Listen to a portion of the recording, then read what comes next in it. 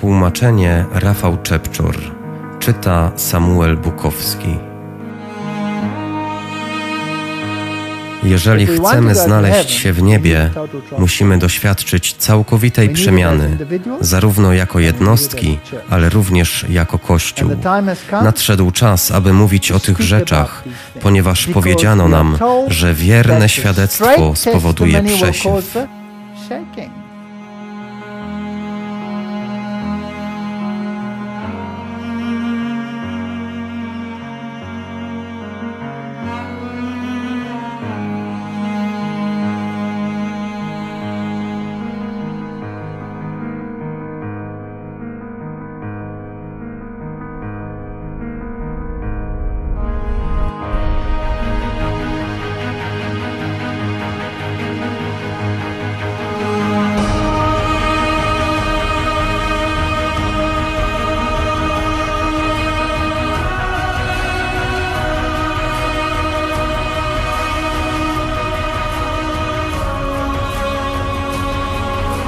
Amazing Discoveries i Walter Fight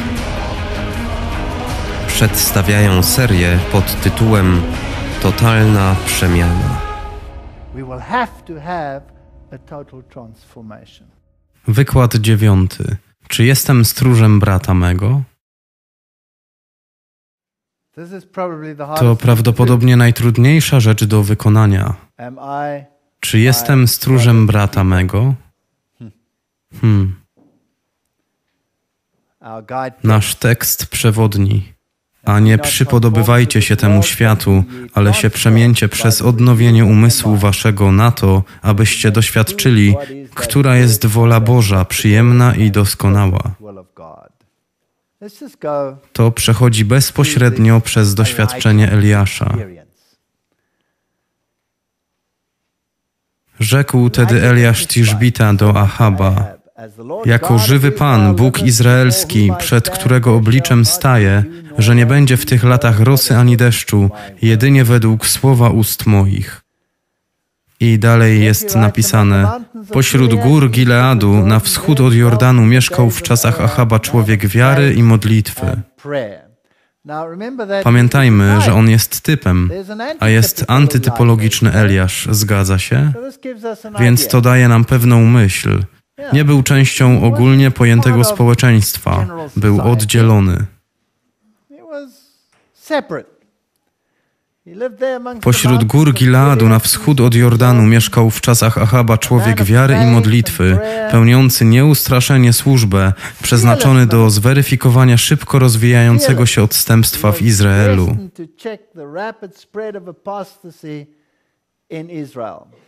Przyjemna praca, co nie? Nie, niezbyt.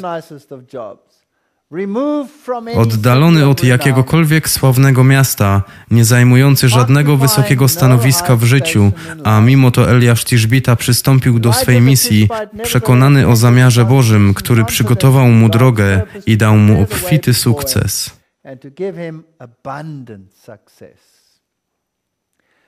Słowo wiary i mocy było na jego ustach. My wszyscy musimy tacy być, ponieważ wszyscy jesteśmy antytypologicznymi Eliaszami. A całe jego życie było poświęcone dziełu reformy.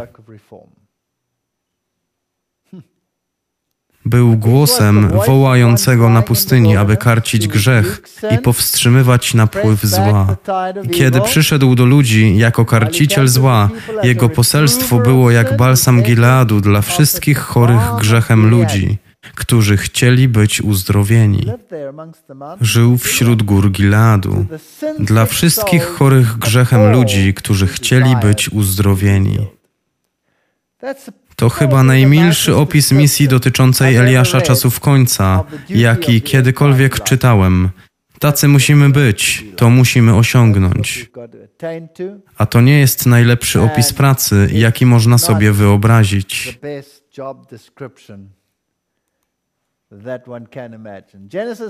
Wtedy rzekł Pan do Kaina, gdzie jest brat twój Abel? A on odpowiedział, nie wiem, czyż jestem stróżem brata mego? Co to oznacza? Słowo tam występujące to szamar. Pierwotny korzeń, prawdopodobnie zabezpieczenie z kolcami, aby chronić, strzec, pielęgnować i tak dalej. Strzec się, być roztropnym, baczyć na siebie, opiekować się, piętno, baczenie, spoglądać, obserwować, uważać, dochowywać, zastrzegać, ratować siebie, pewnie, czekać, patrzeć.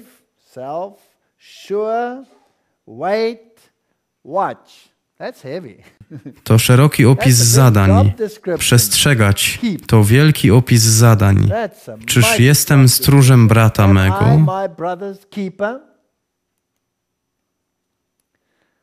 Kościół to jedno ciało. W drugim liście do Koryntian Paweł pisze do chrześcijan, pogan. A co za zgoda Kościoła Bożego z bałwanami? Albowiem wy jesteście Kościołem Boga żywego, tak jako mówi Bóg. Będę mieszkał w nich i będę się przechadzał w nich. I będę Bogiem ich, a oni będą ludem moim.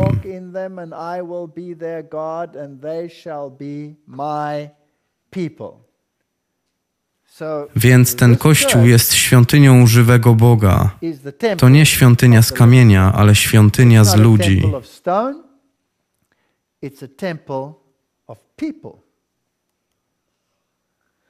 Ale teraz wy, którzy niegdyś byliście dalecy, staliście się w Chrystusie Jezusie bliscy przez krew Chrystusową, albowiem On jest pokojem naszym. On sprawił, że z dwojga jedność powstała i zburzył w ciele swoim stojącą pośrodku przegrodę z muru nieprzyjaźni.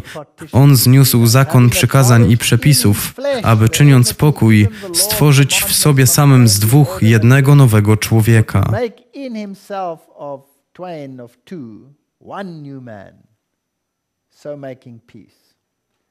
i pojednać obydwóch z Bogiem w jednym ciele przez krzyż, ciało Chrystusa. Zniweczywszy na nim nieprzyjaźń. i przyszedłszy, zwiastował pokój wam, którzyście daleko, i pokój tym, którzy są blisko. Wszyscy, którzy byli daleko, zostali wezwani do tego jednego ciała, ciała Chrystusa. On umarł za nich. Albowiem przez Niego mamy dostęp do Ojca, jedni i drudzy w jednym duchu. Więc to jest zlepek ludzi, nie ma Greka, nie ma Żyda. Jeden lud, będący jednym ciałem. Tak więc już nie jesteście obcymi i przychodniami, lecz współobywatelami świętych i domownikami Boga. Zbudowani na fundamencie apostołów i proroków, którego kamieniem węgielnym jest sam Chrystus Jezus, na którym cała budowa mocno spojona rośnie w przybytek, albo też w Kościół, święty w Panu na którym i wy się wespół budujecie na mieszkanie Boże w duchu. Tak więc Kościół jest szczególny. Ma tych wszystkich ludzi, a kamieniem węgielnym jest Chrystus i jest mieszkaniem Boga przez ducha.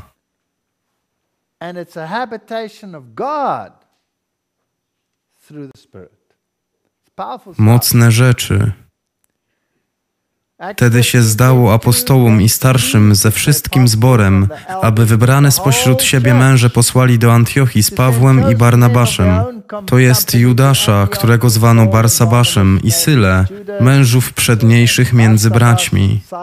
Napisawszy to przez rękę ich, apostołowie i starsi i bracia tym, którzy są w Antiochii i w Syrii i w Cylicji, braciom, którzy są z pogan, zdrowia życzymy in Antioch and Syria and Cilicia. Co tam jest napisane? Sprawiam same problemy. To wersja króla Jakuba. Kto jest tu kościołem? To ważne rzeczy, musimy być pewni, kto jest Kościołem. Apostołowie i starsi ze wszystkim zborem. It say? With the whole church. A w wierszu 23 oni, kim są oni? Chcę wiedzieć, kim są oni. Napisawszy to przez rękę ich, apostołowie i starsi i bracia. Więc kto jest Kościołem? Wszyscy będący w nim. Jest hierarchia, to fakt, ale jeśli chodzi o decyzje, to podejmuje je cały Kościół. Cały.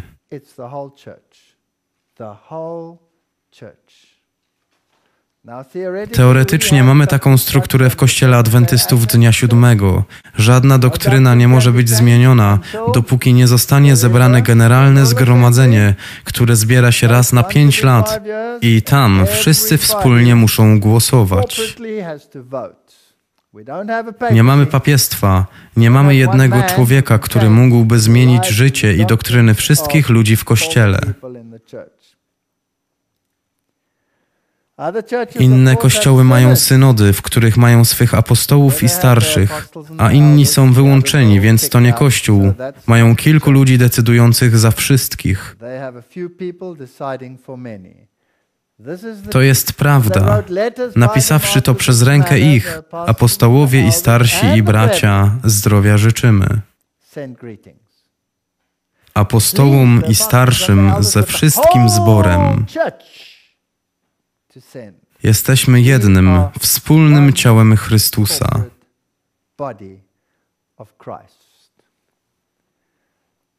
Te teksty nie mogą zadowolić rzymskokatolickiej hierarchii, ale jeśli spojrzymy na New International Version, to czytamy: Posłali przez nich pismo tej treści. Apostołowie i starsi bracia przesyłają pozdrowienia braciom pogańskiego pochodzenia w Antiochii, w Syrii i w Cylicji. O, więc oddzielili elitę od braci.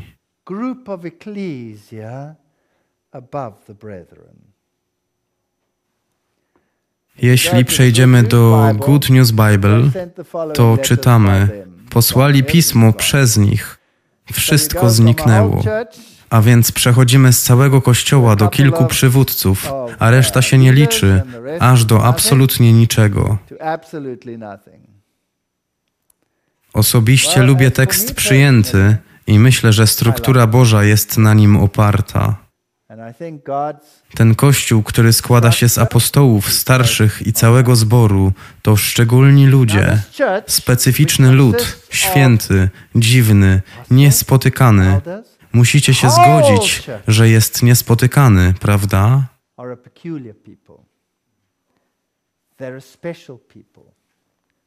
They're a holy people. They're a strange people. They're odd. They're? I oddzielony. Albowiem śludem świętym Panu, Bogu Twemu, i obrał Cię Pan, abyś mu był za lud osobliwy. To zbieg okoliczności, że w języku angielskim to słowo osobliwy ma podwójne znaczenie, ale pasuje jak kapelusz, czyż nie? But it fits like a hat, doesn't it? Ze wszystkich narodów, które są na obliczu ziemi. Pan się też dziś opowiedział przy Tobie, abyś mu był za lud osobliwy, jako mówił do Ciebie i żebyś strzegł wszystkich przykazań Jego. To czyni nas szczególnym, niespotykanym i dziwnym ludem. Nie wiem, jak można to umieścić w ekumenicznej, okrągłej dziurze. To po prostu nie pasuje. Przetoż teraz, jeśli słuchając, posłuszni będziecie głosowi mojemu i strzec będziecie przymierza mego, będziecie mi własnością nad wszystkie narody, chociaż moja jest wszystka ziemia. To szczególny lud, składający się z tych wszystkich stronnictw. Mur oddzielenia został zburzony i są szczególną Bożą własnością. Albowiem sobie Jakuba obrał Pan, a Izraela za własność swoją. Jest ta dziwna, mała grupa na tej planecie, która jest jego szczególnym ludem. który dał samego siebie za nas, aby nas wykupił od wszelkiej nieprawości i oczyścił sobie samemu lud własny, gorliwie naśladujący dobrych uczynków.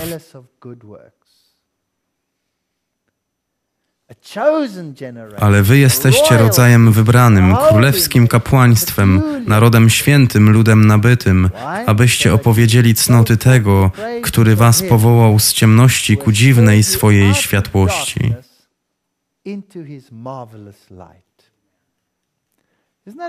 Czy to nie jest miły opis Kościoła? Tak to Bóg widzi. Hmm, powiem tak. Hmm, Jak żona Abrahama, oszałamiająca. Oczy faraona wyszły z orbit, czarująco piękna, tak ją widział.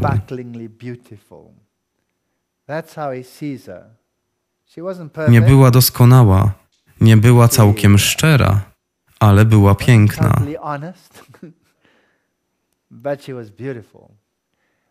Jako lud powinniśmy pilnie się strzec, abyśmy nie zapomnieli zarzutów Pana. Jest wiele niebezpieczeństw, których powinniśmy unikać, jeśli utrzymujemy, że jesteśmy odrębnym ludem niż świat. Oddzieleni od świata. Nasze dzieci są dziedzictwem pańskim, aby były edukowane i dyscyplinowane i były jak najwierniejsze Bogu, aby przestrzegały wszystkich słów Pana przez posłuszeństwo Jego przykazaniom.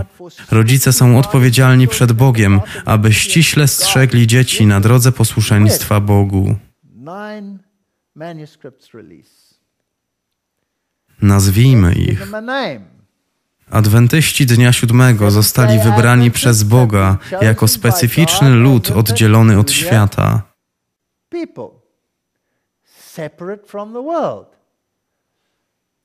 Przez tasak prawdy odciął ich od łupu świata i przywiódł ich do łączności ze sobą. Więc kim są ci ludzie? Są adwentystami Dnia Siódmego. Nie dlatego, że są najlepsi czy wielcy, ale dlatego, że Bóg jest wielki. Uczynił ich swoimi przedstawicielami i powołał ich na swoich ambasadorów w ostatnim dziele zbawienia. Ten apel jest do Kościoła. Najwspanialsze bogactwo prawdy powierzone śmiertelnikom Najbardziej uroczyste i straszne ostrzeżenia, kiedykolwiek zesłane przez Boga do człowieka, zostały im rozdysponowane, aby zanieśli to światu. Czy to nie jest niesamowite zobowiązanie?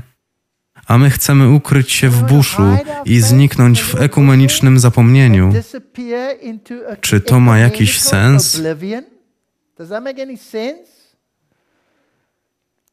I dokonując tej pracy, nasze wydawnictwa są najbardziej efektywne wśród placówek.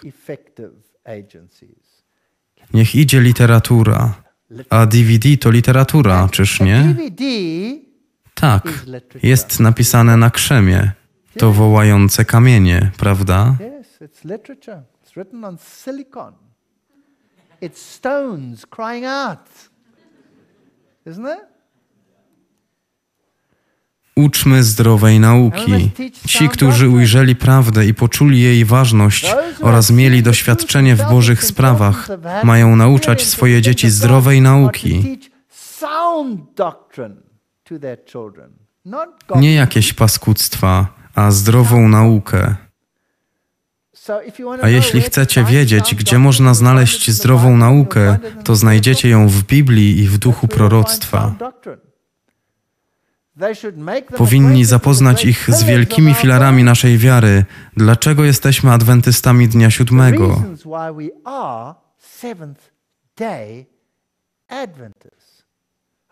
Jak powiedziałem na początku, nie mam zamiaru niczego ukrywać. Jestem adwentystą dnia siódmego.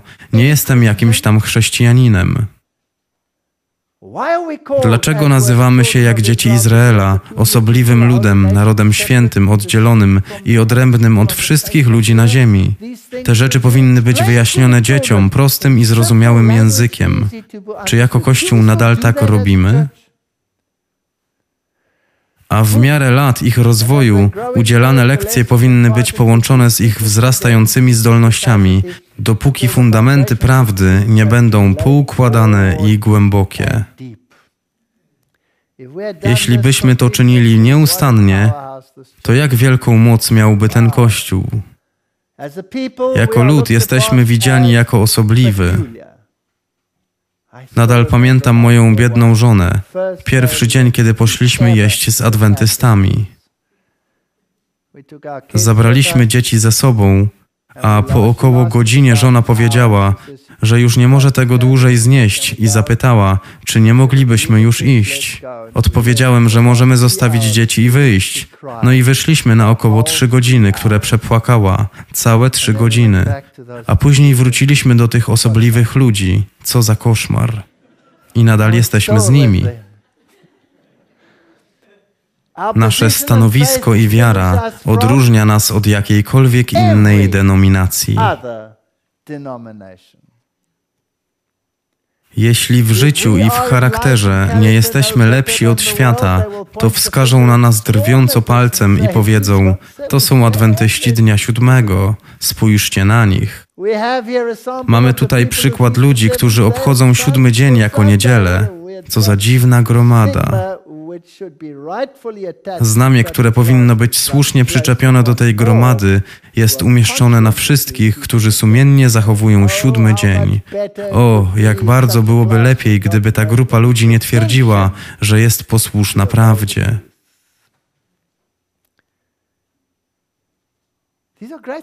Wspaniałe stwierdzenia, nieprawdaż? Szczegółowe cele naszej literatury. Nasza praca wydawnicza została ustanowiona przez Boże kierownictwo i pod Jego szczególnym nadzorem. Zamiarem tego było wypełnianie określonych celów. Adwentyści Dnia Siódmego zostali wybrani przez Boga jako szczególny lud oddzielony od świata. Przez wielki tasak Czytaliśmy to już wcześniej. Najwspanialsze bogactwo prawdy powierzone śmiertelnikom, najbardziej uroczyste i straszne ostrzeżenia kiedykolwiek zesłane przez Boga do człowieka, dane zostało Kościołowi. Wydawnictwa wypuszczają. Nie, w dzisiejszych czasach wypuszczamy Ricka Warrena. To smutne. Jest wielu w Kościele, których serce należy do świata. Ilu? Wielu. Ale Bóg wzywa tych, którzy twierdzą, że wierzą w posuwającą się prawdę, aby wznieśli się ponad obecną postawę dzisiejszych popularnych kościołów. Gdzie jest samozaparcie? Gdzie jest noszenie krzyża, o którym Chrystus mówił jako o charakterystycznej cesze swoich naśladowców? Powód, dla którego mieliśmy tak mały wpływ na niewierzących krewnych i towarzyszy, jest taki, że okazujemy mało wyraźną różnicę w naszych uczynkach od tych, którzy są w świecie. Jesteśmy tacy jak oni. Rodzice muszą się obudzić i oczyścić swoje dusze przez praktykowanie prawdy w swoich domach. Kiedy dosięgniemy standardu, którego Pan oczekuje od nas, kocham to stwierdzenie, to świat będzie odnosić się do adwentystów dnia siódmego osobliwie, wyjątkowo i zasadniczo ekstremistycznie. Staliśmy się widowiskiem dla świata, dla aniołów i ludzi. Jeśli ludzie nie widzą nas jako osobliwych, wyjątkowych, zasadniczo ekstremistycznych, to jest problem. Nie z nimi, ale z nami. Odkupiciel świata nie sankcjonuje doświadczenia i praktyk religijnych niezależnie od swojego zorganizowanego i przyjętego kościoła.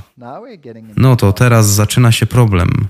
Bóg chce, abyśmy doświadczyli Jego prowadzenia w słupie obłoku i ognia w tym kościele.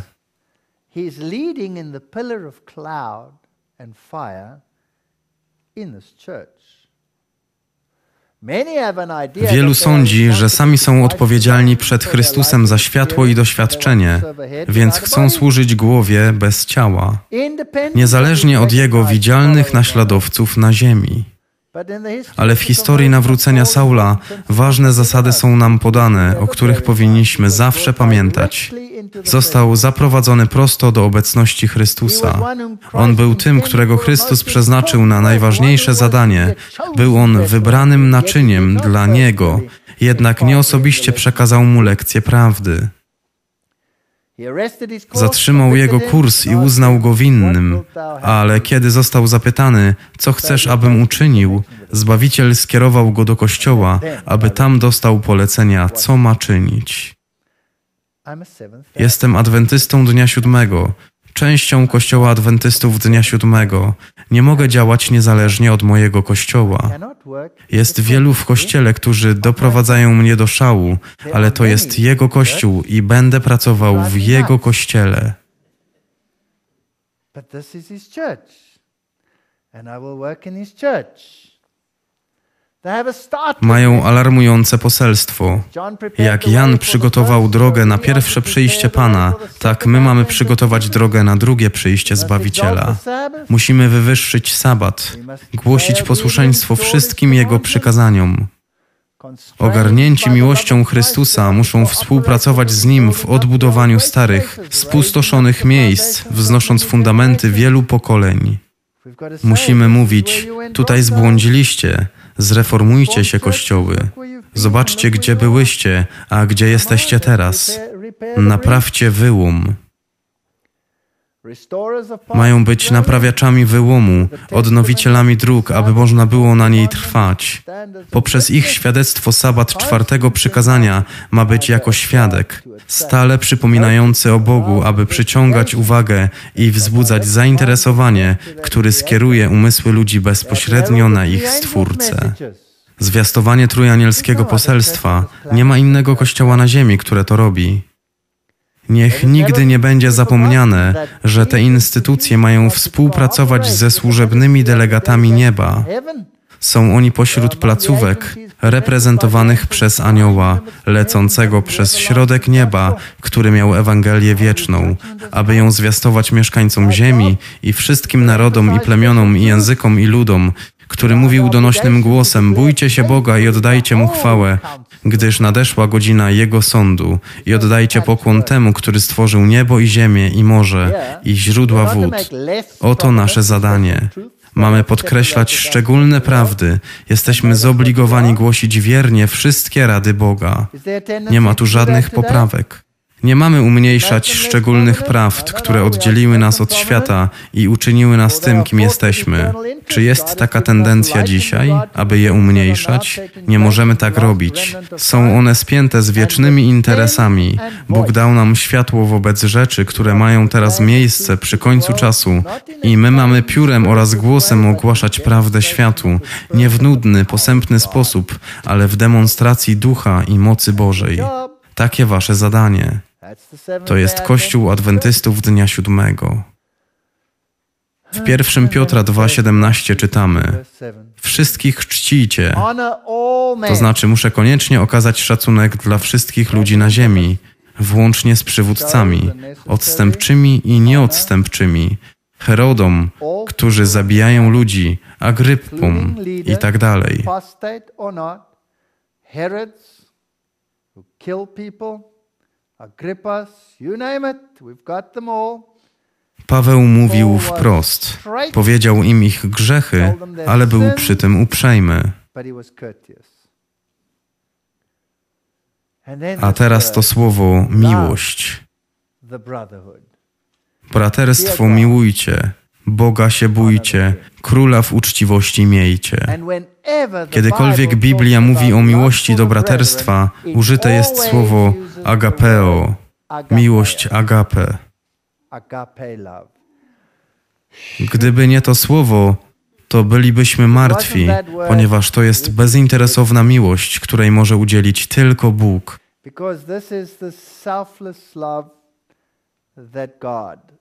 To nie jest jak ja Cię kocham, szloch, szloch, szloch. Tu chodzi o wyższą miłość.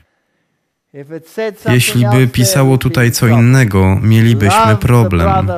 Braterstwo miłujcie, Boga się bójcie, króla w uczciwości miejcie. Albowiem ktokolwiek czyni wolę Ojca mego, który jest w niebie, ten jest moim bratem i siostrą i matką. Więc Bóg wezwał ludzi, aby czynili wolę Ojca w niebie, nazwał ich adwentystami dnia siódmego, ponieważ nazwa jest naganą dla świata i jeśli będą ją czynić, to będą waszymi braćmi, siostrami i matkami. Wiemy, czym jest grzech. Przestąpieniem prawa. I jeśli w nim mieszkamy, to nie grzeszymy. Przeto tedy, póki mamy czas, dobrze czynimy wszystkim, a teraz to słowo, a najwięcej domownikom wiary.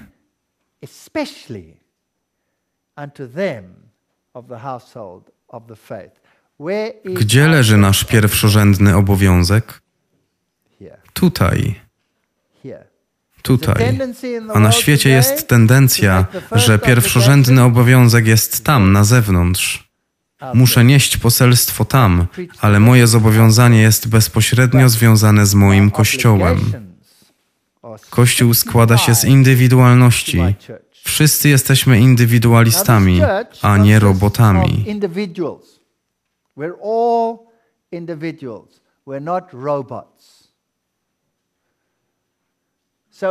Tak wiele nas jest jednym ciałem w Chrystusie, aleśmy z osobna jedni drugich członkami. Jesteśmy jednością, ale także jednostkami. Kto mówi, iż jest w światłości, a brata swego nienawidzi, w ciemności jest aż dotąd. Kto miłuje brata swego, w światłości mieszka i zgorszenia w nim nie masz. Lecz kto nienawidzi brata swego, w ciemności jest i w ciemności chodzi, a nie wie, gdzie idzie, iż ciemność zaślepiła oczy jego. 1 Jana 2, 9 do 11. Muszę kochać swoje braterstwo, choć to trudne. Jak już mówiłem wcześniej, łatwo kochać prawdę, Jezusa, łatwo opowiadać się za prawdą, aż do śmierci. Niech mnie zetną, Panie, za prawdę, ale kochać braterstwo. Panie, czy nie mógłbyś mi dać coś innego? Proszę, wszystko, byle nie to. Love the brethren. Po tym poznać dziadki Boże i dzieci diabelskie. Wszelki, który nie czyni sprawiedliwości, nie jest z Boga i który nie miłuje brata swego. Dlaczego to jest tak istotne? To jest najlepszy test kochać braterstwo. Love the brethren. Albowiem to jest poselstwo, któreście słyszeli od początku, abyśmy jedni drugich miłowali, nie jako Kain, który był z tego złośnika i zabił brata swego. A dlaczegoż go zabił? Iż uczynki jego były złe, a brata jego sprawiedliwe. Tak było zawsze. Nie dziwujcie się, bracia moi, jeśli was świat nienawidzi, My wiemy, żeśmy przeniesieni ze śmierci do żywota, iż miłujemy braci. Kto nie miłuje brata, zostaje w śmierci. To jest kwestia życia i śmierci. To jest poważna sprawa.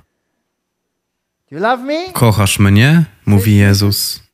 Naprawdę mnie kochasz? Tak, panie, kocham cię. Zaraz zobaczymy, umieszczę cię pośród braci.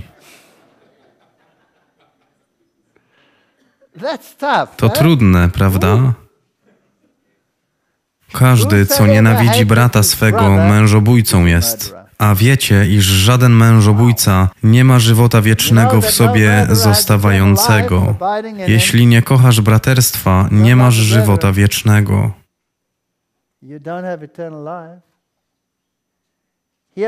Przez tośmy poznali miłość Bożą, iż On dusze swoje za nas położył i myśmy powinni kłaść dusze za braci.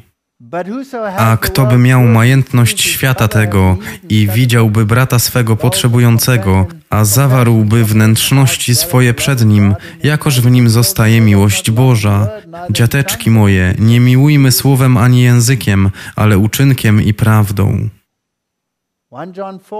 Jeśli by kto rzekł, miłuje Boga, a brata by swego nienawidził, kłamcą jest. Albowiem kto nie miłuje brata swego, którego widzi, Boga, którego nie widzi, jak może miłować? A toć rozkazanie mamy od Niego, aby ten, co miłuje Boga, miłował i brata swego. Najlepszy test pokazujący naszą prawdziwą więź z Chrystusem. Wszelki, co wierzy, iż Jezus jest Chrystusem, z Boga się narodził, a wszelki, co miłuje tego, który urodził, miłuje i tego, który z niego jest narodzony. Przez to znamy, iż miłujemy dziadki Boże, gdy Boga miłujemy i przykazania Jego chowamy.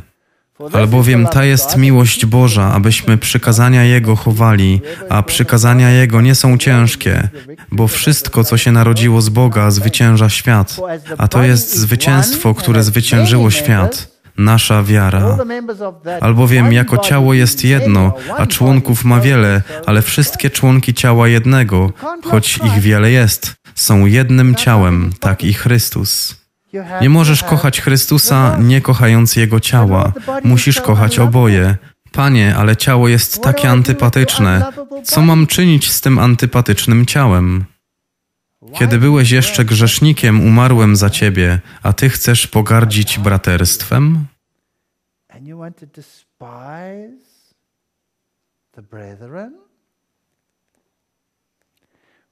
Albowiem my wszyscy musimy stanąć przed sądem Chrystusowym, aby każdy odebrał zapłatę za uczynki swoje, dokonane w ciele, dobre czy złe.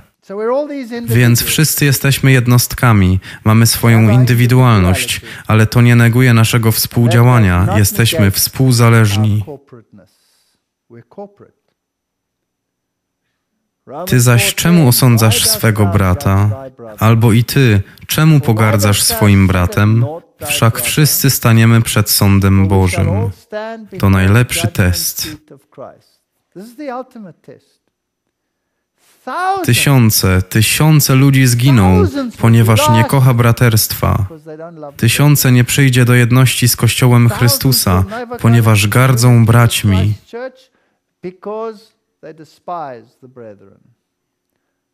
Nie zamierzam się przyłączać do tej grupy. Czy nie słyszymy tego na okrągło? Nie chcę być członkiem tego kościoła. Oni są dziwni. Oni mają być dziwni, abyś nauczył się ich kochać. Chrystus nie uznaje odrębności. Chrystus nie uznaje odrębności pomiędzy narodami, klasami czy wyznaniem wiary. Chrystus przyszedł, aby zburzyć każdy mur przegrody. Przyszedł, aby pokazać, że Jego dar łaski i miłości jest nieograniczony, tak jak powietrze, światło czy opady deszczu odświeżające ziemię. Życie Chrystusa ustanowiło religię, w której nie ma kast, religię, w której Żyd i poganin, wolny i niewolnik są połączeni wspólnym braterstwem, są równi przed Bogiem. I tyle. Tu odpada odrębność w Biblii New International Version pomiędzy hierarchią a braterstwem. Nie ma wpływu polityki w jego ruchach. Nie uczynił różnicy między sąsiadami i obcymi, przyjaciółmi i wrogami. To, co przemawiało do jego serca, był głód duszy pragnącej wody żywota. Jeśli kiedykolwiek był ktoś, kto miewał czasami powód do nienawiści braci, to prawdopodobnie ja.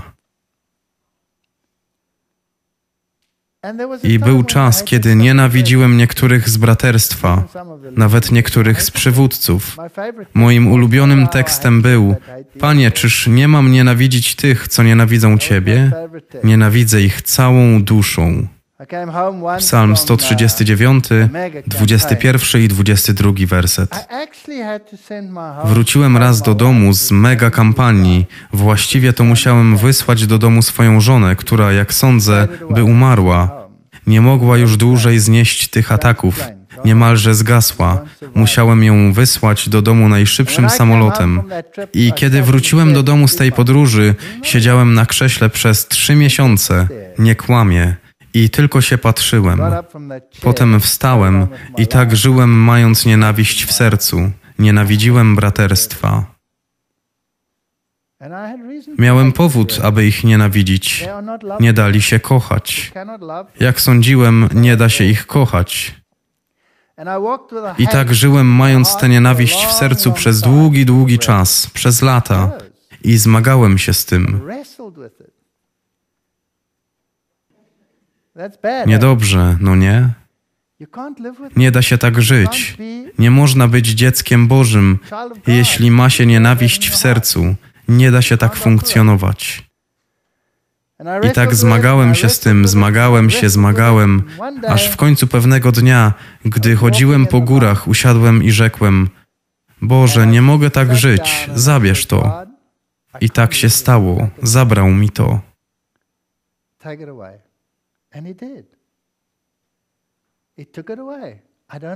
Już nie mam nienawiści do braterstwa, kocham ich. Nie lubię ich, ale ich kocham. Pragnę, aby wszyscy oni byli zbawieni. Im gorsi oni są, tym więcej musimy ich kochać. Ponieważ tylko pomyślcie, jeśli się nie zmienią, to dokąd dojdą? Brak nadziei, nie ma nic. Jakim przywilejem jest mieć nadzieję i wszystkie te piękne rzeczy, które Bóg obiecał. Musimy kochać braterstwo, a im gorsi są, tym bardziej musimy ich kochać.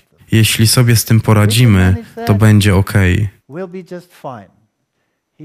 On prosił, aby natchnąć nadzieją najbardziej zatwardziałych i nieobiecujących, stawiając przed nimi pewność, że mogą stać się niewinnymi, nieszkodliwymi i posiąść taki charakter, który manifestowałby się jako charakter dzieci Bożych.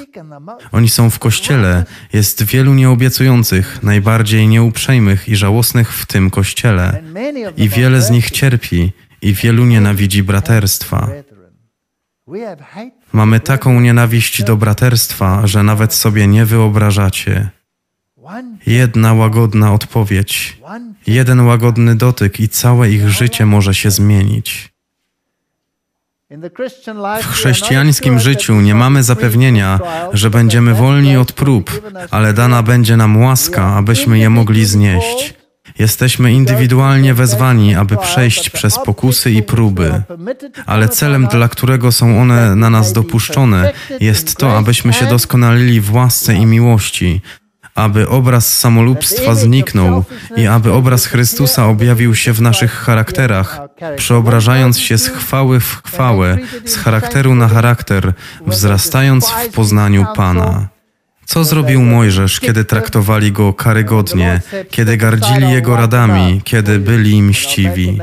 A kiedy Pan powiedział: Odsuńcie się, wyniszczę ich, a zrobię z ciebie wielki naród. Co Mojżesz zrobił? Bogu dzięki, co za ulga. Nie, wymasz mnie z księgi życia, ale żeby byli uratowani. Członkowie Kościoła będą indywidualnie testowani i próbowani. Musimy zrozumieć, do czego będziemy indywidualnie powołani w celu budowania sprawy Bożej na ziemi, w potwierdzeniu Bożego, świętego prawa oraz wywyższeniu Zbawiciela jako baranka Bożego, który gładzi grzechy świata. Indywidualnie wezwani w Kościele i niech każdy dochodzi prawdy dla samego siebie. Musimy być absolutnie utwierdzeni, każdy z nas.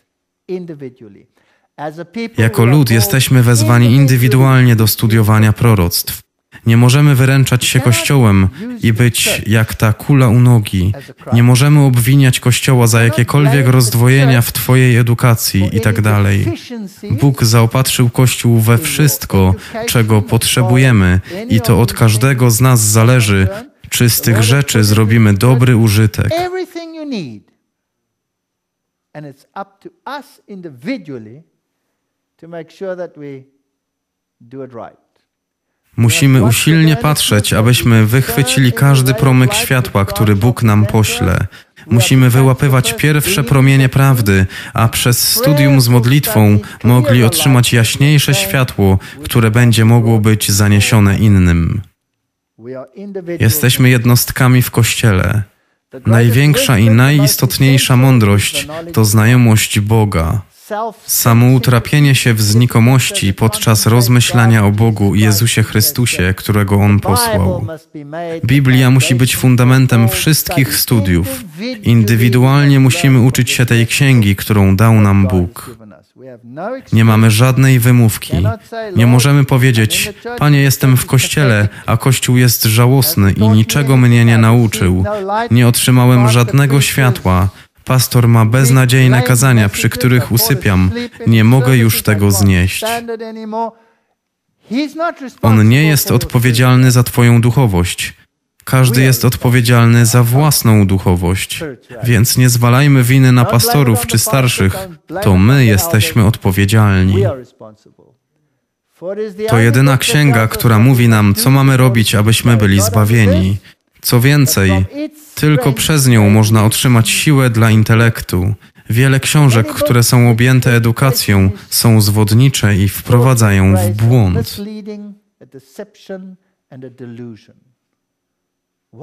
Co ma plewa do pszenicy?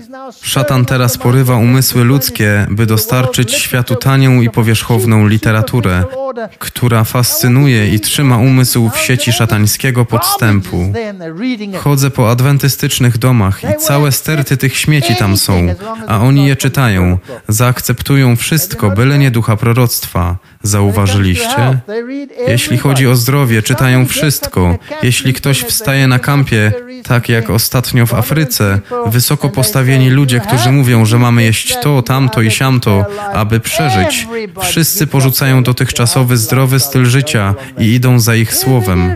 Skąd oni to czerpią? Dlaczego skakać, jeśli ktoś mówi skacz? Czytajcie sami, co duch proroctwa ma do powiedzenia. Nie musimy błądzić i nie możemy winić Kościoła za nasz stan. Po przeczytaniu tych książek umysł żyje w nierzeczywistym świecie, a życie jest bezużyteczne, jak bezowocne drzewo.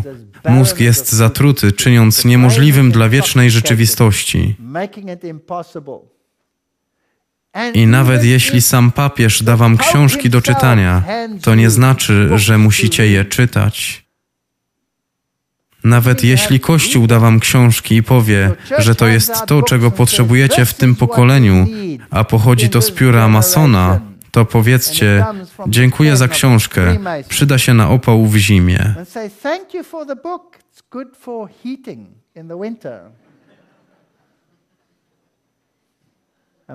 Umysł wyuczony na karmieniu się śmieciami nie jest w stanie dostrzec piękna zawartego w Słowie Bożym. To fakt. Im więcej tego czytasz, tym bardziej się zatracasz. To najbogatszy kościół na świecie.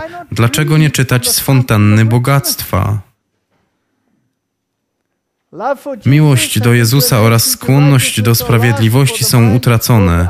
Umysł jest tym, czym się karmi. Karmiąc umysł ekscytującymi, fikcyjnymi historiami, człowiek buduje na fundamencie drewnie, sianie i ściernisku. Wierzcie mi, te książki, które są czasem rozdawane w kościele, są niczym innym jak fikcją, a nawet gorsze niż fikcja. Traci zainteresowanie boską księgą. I to jest nasz problem, ale nie obwiniaj Kościoła. To nie Kościół jest odpowiedzialny za to, co czytamy, lecz my sami.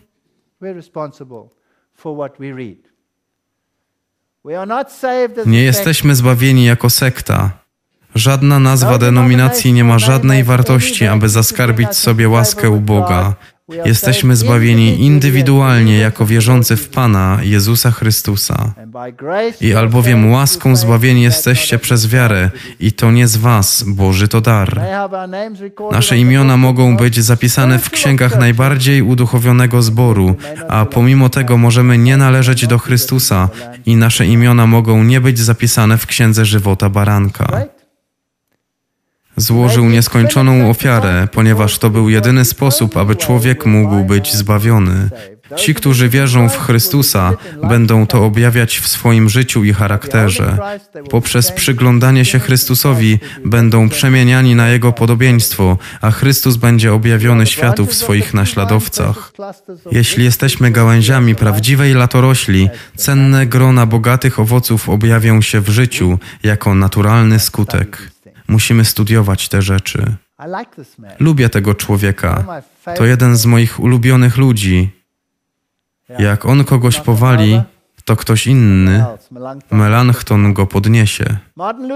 Marcin Luther w swojej pracy Wolność chrześcijańskiego człowieka podaje dwie zasady na podstawie pierwszego listu do Koryntian 9:19. Albowiem będąc wolnym od wszystkich, samego siebie uczynił niewolnikiem wszystkim, abym ich więcej pozyskał. Jest napisane: Chrześcijanin jest absolutnie wolnym panem od wszystkich, niepodległym nikomu. Druga zasada: chrześcijanin jest absolutnie pełnym oddania sługą wszystkich, podległym wszystkim. Czy to nie urocze? Ależ ten człowiek miał mądrość. Druga zasada musi spocząć na pierwszej, inaczej chrześcijańskie doświadczenie stanie się niewolnictwem. We właściwych, wzajemnych relacjach obie zasady staną się błogosławieństwem. I tego musimy się w Kościele nauczyć. Nie możemy patrzeć na jednostki ani na to, co robią. Musimy oczywiście być stróżami na murach Syjonu, ale to musi mieć związek ze zbawieniem.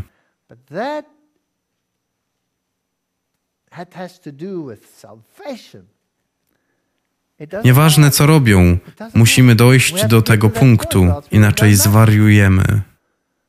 Praca powierzona nam przez Pana będzie szybko postępować tylko wtedy, kiedy będziemy pracować w jedności. Tak, mówi jeden. To jest dokładnie to, w co wierzę, w umocnienie. Ale chrześcijańska jedność nie jest tym samym, co świat nazywa konsolidacją. Jedność wśród braci wynika z konsolidacji z Chrystusem i niebiańskimi aniołami. Takie wzmocnienie pochodzi z nieba. Więc mamy tutaj zasady. Jedność nie oznacza, że mamy być obojętni na nonsens. Konsolidacja pielęgnuje wywyższenie człowieka. Zasady konsolidacji to wszystko pisze duch proroctwa. Gdziekolwiek wdrożone, pielęgnują wywyższenie człowieka w miejsce bóstwa. Więc jeśli jesteś w ekumenicznym ruchu, to tam jest człowiek, boskości tam nie ma. Poświęcisz Boga dla dobra jedności, czyż nie? Będziesz musiał. Ci, którzy niosą odpowiedzialność w różnych instytucjach, liczą na pomoc i wsparcie centralnej władzy. Nonsens. Kiedy poczucie osobistej odpowiedzialności słabnie, tracą najwyższe i najcenniejsze ludzkie doświadczenia, stałą niezależność duszy od Boga. Jeśli stale mówimy, co oni tam mówią, to nic nie będzie zrobione. Nie zdają sobie sprawy ze swoich potrzeb, zawodzą w utrzymaniu stałego czuwania i modlitwy, tego stałego poddania się Bogu, który sam może umożliwić ludziom usłyszenie i posłuszeństwo nauk swojego świętego ducha. Dlatego Ellen White mówi, że kongregacja powstaje ponad normy i standardy pastora. A któż to jest pastor? Czy on jest przykładem we wszystkim, czy Jezus jest takim przykładem? Musimy w tym kościele zacząć patrzeć na siebie. Jeśli tylko będziecie pracować w Duchu Świętym i przez Ducha Świętego, będziecie mieć pocieszyciela przez cały czas. Nieważne, co powie ten czy tamten. Nie podlegacie żadnemu człowiekowi, podlegacie Bogu. On dał wam zadanie i to On otwiera wam drogę, abyście pracowali dla Jego imienia. Jesteśmy wezwani indywidualnie, bez częstej rady, wprost przeciwnie. Ludzie realizują plan centralizacji władzy w celu związania wielu spraw pod jedną kontrolę. Sterujący wariaci. To dzieło było zapoczątkowane w Review and Herald. Sprawy się chwiały z jednej strony, a później z drugiej. To był przeciwnik naszej pracy, który robił podszepty do konsolidacji prac wydawniczych pod jedną kontrolującą moc w Battle Creek. To zasada. Apostołowie, starsi, braterstwo. Pomysł uzyskał aprobatę, aby medyczna praca misyjna bardzo się rozwijała pod warunkiem, że wszystkie nasze medyczne instytucje oraz inne medyczne sprawy misyjne będą podpięte pod kontrolę Misyjnego Medycznego Stowarzyszenia w Battle Creek. Więc powstały instytucje, które mówią nam, jak macie postępować, jak macie wierzyć. A jeśli postępujecie inaczej lub wierzycie inaczej, no to macie kłopoty. Powiedziano mi, że mam ostrzegać przed tym. Nie mamy być kontrolowani przez ludzi, którzy nie potrafią kontrolować samych siebie i którzy nie chcą podlegać Bogu. Nie mamy być kontrolowani przez ludzi, którzy chcą, aby ich słowo miało moc władczą. Przed kim odpowiadamy? Przed Bogiem. Jednak musimy kochać braterstwo. Dobrze, więc jak mamy współpracować, skoro jesteśmy indywidualnościami w tym małym pudełku robiącym własne rzeczy? Wtedy rzekł Abraham do starszego sługi swego w domu swym, który wszystkim rządził, co miał: Połóż proszę rękę Twoje pod biodro moje, a zaprzysięgnę Cię przez Pana, Boga nieba i Boga ziemi, abyś nie brał żony synowi memu z córek kananejskich, pomiędzy którymi ja mieszkam. Mamy tu typologię. Chciał to zachować w rodzinie Bożej. Wszystkie związki są w rodzinie Bożej, a jednak są indywidualnościami, które współpracują.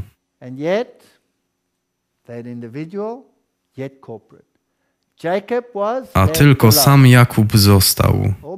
Zbawienie to rzecz indywidualna. A oto biedził się z nim mąż aż do wejścia zorzy, który widząc, że go nie mógł przemóc, uderzył Jakuba w staw biodry jego. Muszę zrobić cały wykład na temat biodra, jeden o stopach i jeden o biodrze. I wytrąciło się biodro ze stawu Jakubowi, gdy się z nim mocował.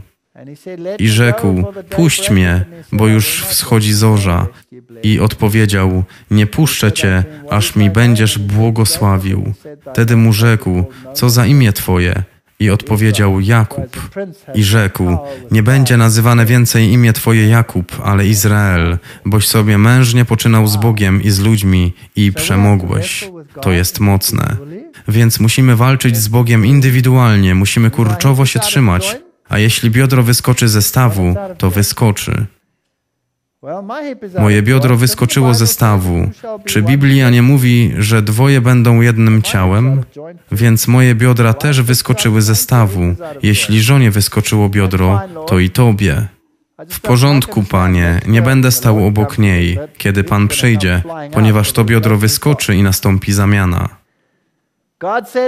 Rzekł potem Bóg do Jakuba: Wstań, wstąp do Betela, dom Boga, a mieszkaj tam i uczyń tam ołtarz Bogu, który ci się ukazał, gdyś uciekał przed obliczem Ezawa, brata twego.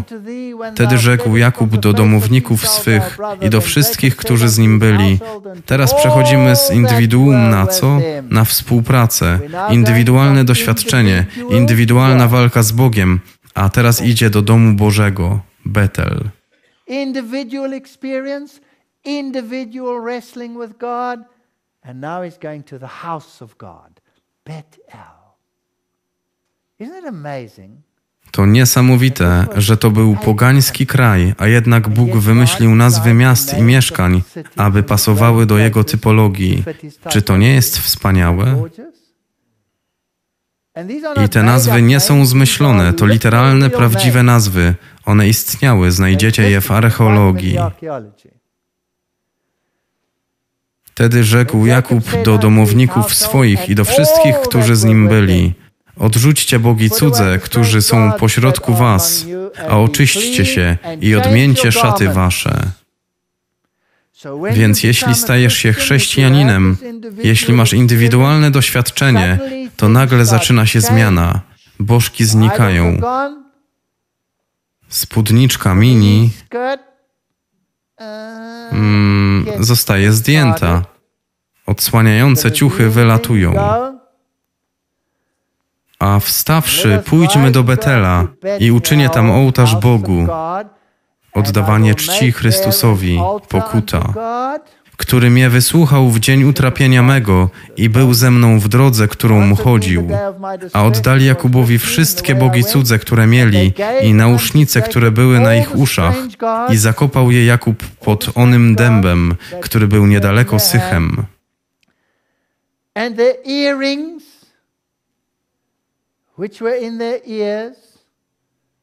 And Jacob hid them under the oak which was by Shechem. Więc ci ludzie przychodzą, to jak myjnia. Wchodzą jedną stroną, idąc przez myjnię, ale ta myjnia ma tak mocny spray, że gdy wychodzisz, to nawet wszystko znika, niczego nie ma, to szczególny lud. Nie mają ozdób. Farba znika, kolczyki, szminka, spódniczka mini to całkowicie nowy lud. Jakże dziwny. Tak wychodzą z drugiej strony. I wyszli stamtąd, a strach Boży padł na miasta. Czyż to nie jest niesamowite? Które były około nich, iż nie gonili synów Jakubowych.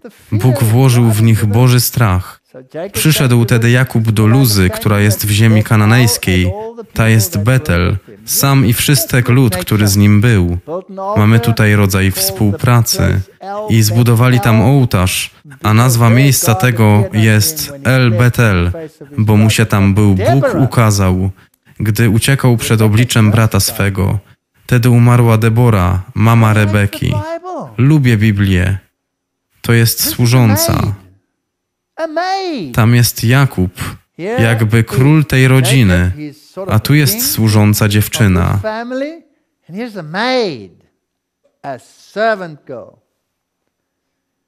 I pogrzebana jest przy Betel pod dębem i nazwał imię onego miejsca Allon Bachut.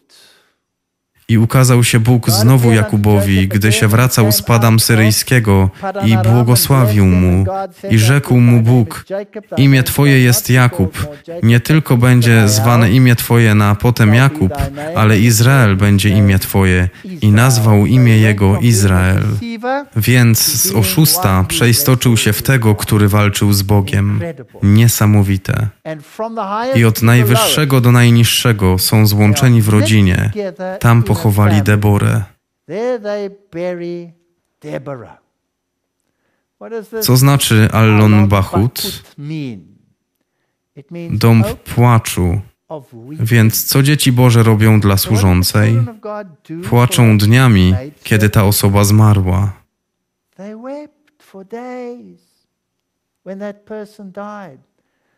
Lubię wypowiedź Wesleya rodzaju 35:8. Tam pochował Deborę, pielęgniarkę Rebeki. Mamy powód, aby myśleć, że Jakub po przybyciu do Kanaanu, a jego rodzina mieszkała blisko Sychem, poszedł sam odwiedzić swego ojca Izaaka w Hebronie. Rebeka prawdopodobnie już nie żyła, ale jej stara pielęgniarka, służąca, o której wspomniano w rodzaju 2459, przeżyła ją, a Jakub wziął ją do swojej rodziny. Kiedy byli w Betel, ona umarła i lamentując, użalając się tak bardzo, że dąb, pod którym została pochowana, nazwano Allon Bachut, dąb płaczu.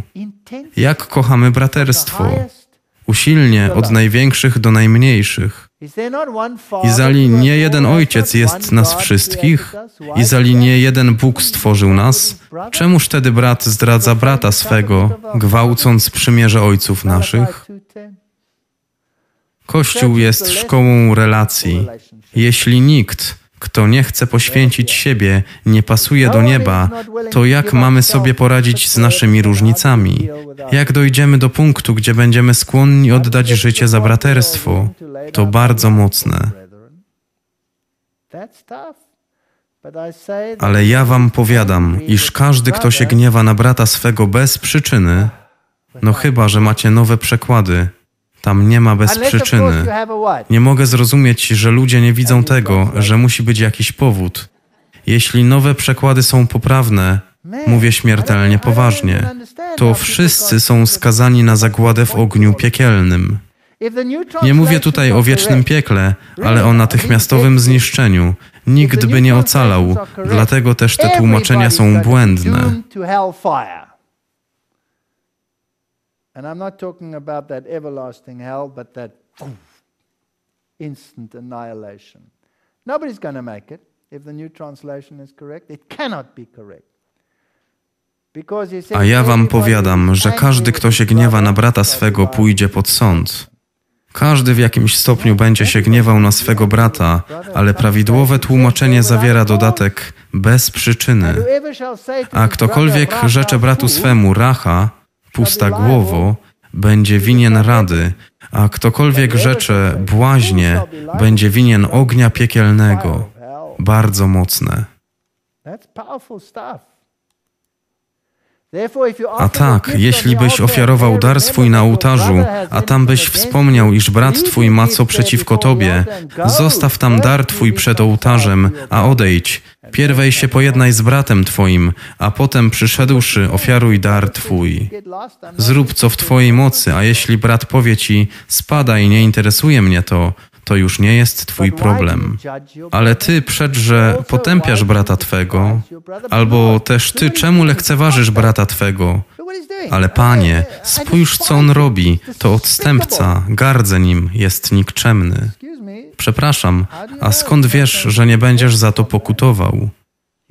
Być może będziesz z nim żył wiecznie, więc jeśli nim gardzisz tutaj, to czy nie będziesz nim gardził w niebie? Gdyż wszyscy staniemy przed stolicą Chrystusową. To pańska sprawa, nie moja.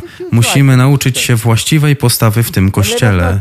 A tak, już nie sądźmy jedni drugich, ale raczej to rozsądzajcie, abyście nie kładli obrażenia ani dawali zgorszenia bratu. Biblia jest pełna takich wersetów. A czemu widzisz źdźbło w oku brata swego, a belki w oku swoim nie dostrzegasz?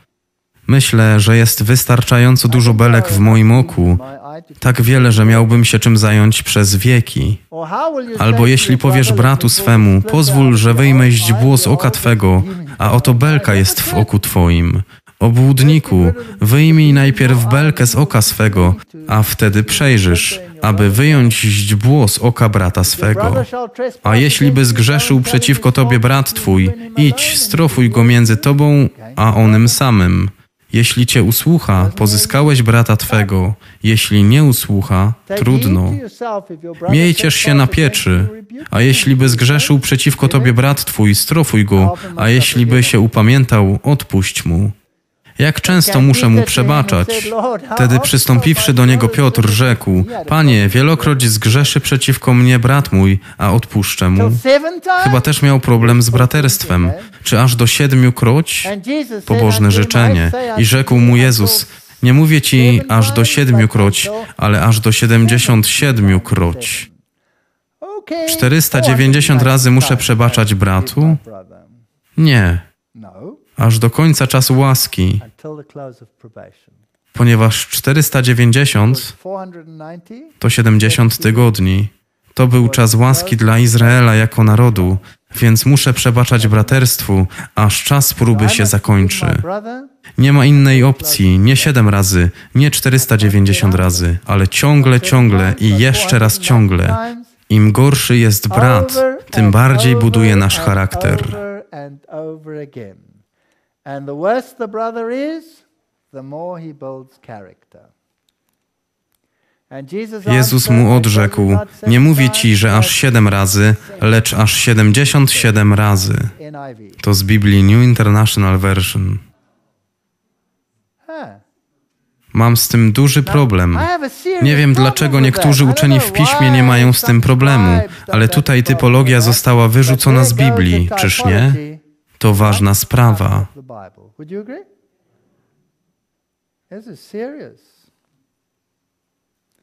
Mówiłem, że nie będę o tym wykładał, ale nie powiedziałem, że sprytnie nie przemycę tego do każdego wykładu.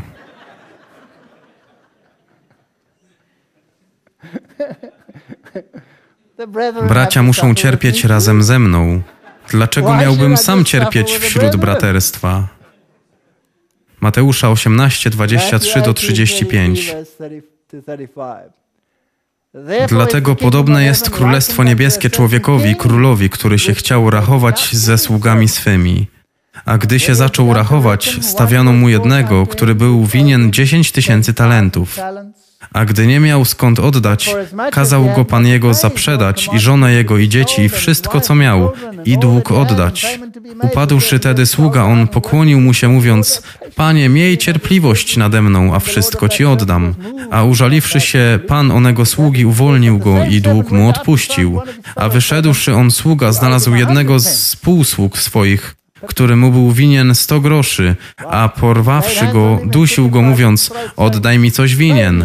Przypadłszy tedy on współsługa jego do nóg jego, prosił go, mówiąc, miej cierpliwość nade mną, a oddam ci wszystko. Lecz on nie chciał, ale szedłszy, wrzucił go do więzienia, ażeby oddał, co był winien. Ujrzawszy tedy współsłudzy jego, co się stało, zasmucili się bardzo, a szedłszy oznajmili panu swemu wszystko, co się stało. Kim jest pierwszy sługa? Ja nim jestem. Ja. Nie mam prawa do życia wiecznego. Ja zawaliłem, ale on mi wybaczył. O ileż bardziej powinienem przebaczyć bratu.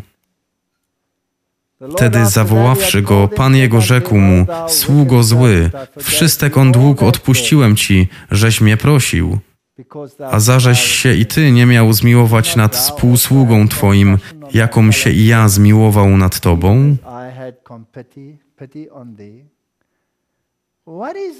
Co to jest przyjąć cios tu czy tam w porównaniu z ciosem, jaki Pan przyjął od nas indywidualnie? To jest nic. Musimy kochać się nawzajem w tym kościele. Uczyńcie to sobie zadaniem życia, aby kochać najgorszego z braterstwa. Za które dzieci modlicie się najwięcej? Za najgorsze czy za najlepsze? Dlaczego nie możecie tego samego zrobić dla braterstwa?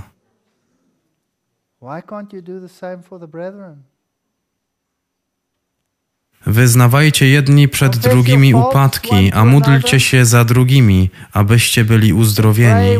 Wiele może uprzejma modlitwa sprawiedliwego. A przekład New International Version Wyznawajcie tedy grzechy jedni drugim. Mówiliśmy już o tym, ten przekład nie może być właściwy. Przyznawajcie się do swoich win jedni drugim, według Biblii Genewskiej. Musimy przyznać się, że mamy winy. Apostoł pisze: Wyznawajcie jedni przed drugimi upadki, a módlcie się jedni za drugimi, abyście byli uzdrowieni. Wiele może uprzejma modlitwa sprawiedliwego. Grzechy wyznawaj Bogu. Przerabialiśmy już to w innym wykładzie. Ci, którzy nie ukorzyli swoich dusz przed Bogiem, nie przyznając się do swojej winy, nie wypełnili pierwszych warunków akceptacji. Problem jest tutaj, nie tam.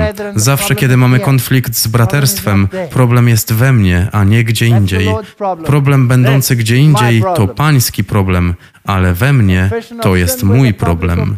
Wyznanie grzechu publiczne czy osobiste powinno być szczere, serdeczne i dobrowolnie wyrażone. Jeśli coś źle zrobiliśmy, przyznajmy się do tego. Nie jesteśmy doskonali, każdy z nas popełnia błędy.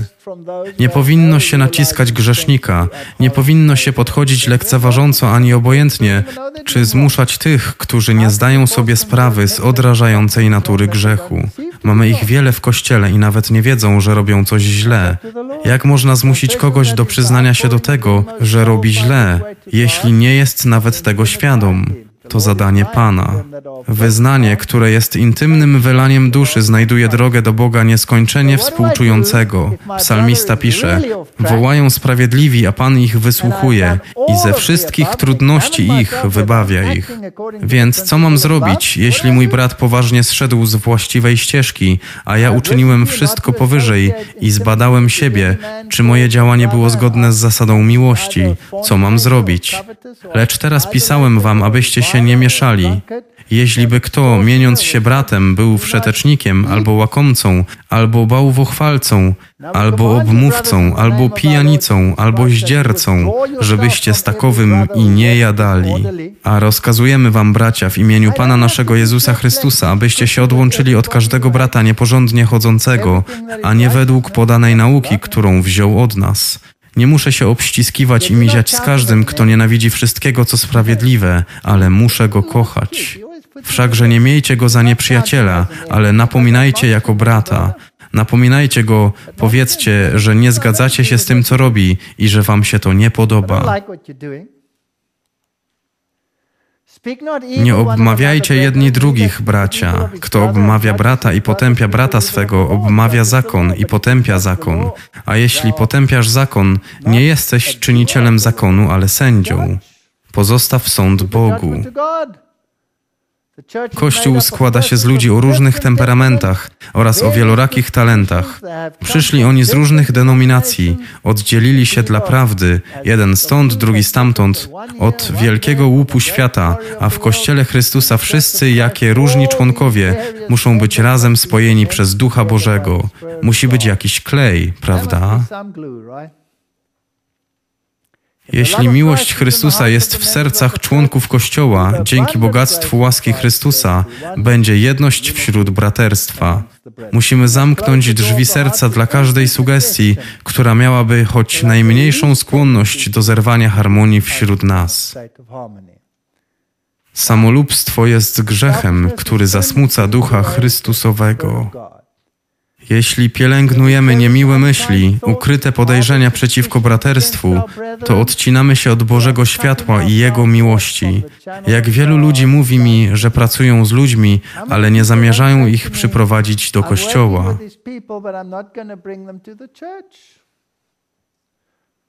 A dlaczego nie? Ponieważ Kościół jest okropny, jest taki i owaki, nie naucza właściwie, szkoła sobotnia to porażka i tak dalej. Nauczyłem się niesamowitych lekcji w tym kościele o tym, jak Bóg działa. Moja żona i ja rozmawialiśmy z kobietą i powiedzieliśmy, że przybędzie wielki mówca. To było dawno. Ten człowiek był wspaniałym mówcą. Jeden z członków generalnej konferencji, który był na wyspach, mający doświadczenia, o których sobie nie wyobrażacie, odkrył plemienia, całe grupy przyjęły adwentyzm. Był świetny. A ta kobieta odrzekła, że nie przyjdzie do naszego kościoła, jeśli powiedzą cokolwiek o adwentyzmie, o prawdzie i tym podobne. Nie chciała mieć nic z tym wspólnego, chciała tylko posłuchać, a my na to zapraszamy. I dalej mówi: Jeśli powie choć jedno słowo, zrobię hałas, wstanę, wyjdę, zrobię taką borutę, że całe wasze spotkanie będzie zniszczone, a my na to zapraszamy. No i przyszła. Siadła między mną a moją żoną, a ten człowiek nauczał, pokazywał slajdy i mówił tylko o swoich doświadczeniach na wyspach i tak dalej.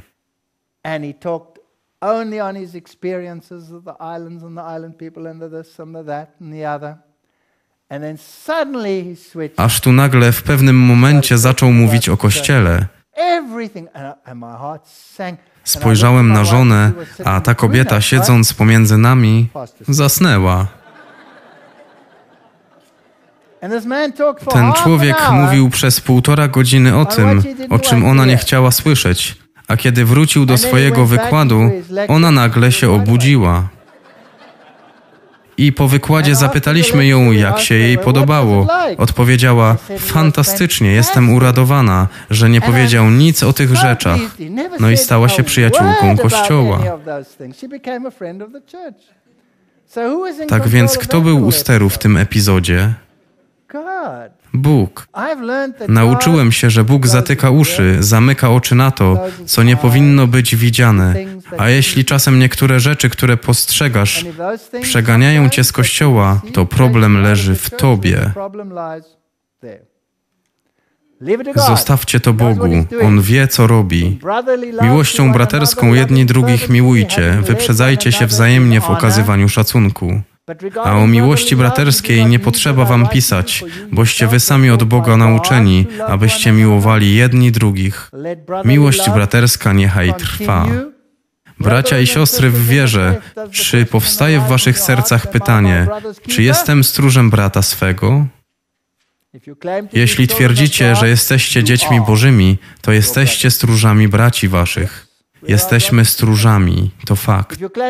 Pan trzyma Kościół, który jest odpowiedzialny za dusze tych, które mają sposobność być uratowane. Jesteśmy stróżami naszych braci, w tym tych najgorszych. Wow. That means the worst of them, right? Wielkie wylanie Ducha Bożego, który oświeci całą ziemię swoją chwałą, nie będzie miało miejsca, dopóki nie zostaną oświeceni ludzie przez tych, którzy mają doświadczenie tego, co znaczy być Bożymi współpracownikami. Jeśli mamy serce w pełni poświęcone służbie Chrystusowi, Bóg uzna ten fakt przez wylanie swego ducha bez miary. Ale to się nie stanie, kiedy większość Kościoła nie współpracuje z Bogiem. Bóg nie może wylać swego ducha, kiedy występuje samolubstwo i pobłażliwość. Kiedy dusza zapanuje nad tym, właściwa będzie odpowiedź na pytanie Kaina: Czy jestem stróżem brata swego?